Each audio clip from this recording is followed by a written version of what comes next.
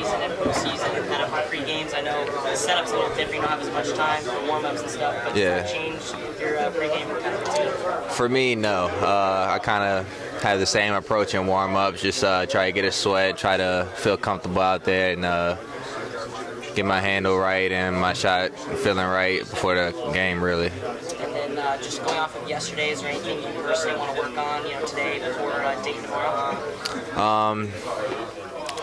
Yeah, I like to uh, hit a shot. I went 0 for 0 for whatever from the three yesterday, and uh, so I'm just gonna get some shots of today in practice. Uh, focus on what we need to focus on against Dayton, and uh, hopefully have a productive game. Mike, did you have a chance to watch them in Maui? Yeah, I did. They're they're tough. Uh, they play hard, and uh, it's gonna be a good game. And against Ohio State, they forced 14 turnovers. Most of the points came in transition. How do you guys limit that? We just gotta uh, take care of the ball and make them work every possession, and uh, do the little things like I said yesterday, and I think we'll be fine. Is there anything specific you guys want to exploit against them? Um, That's why we're here today to practice. Uh, I don't have the answer to that question just yet.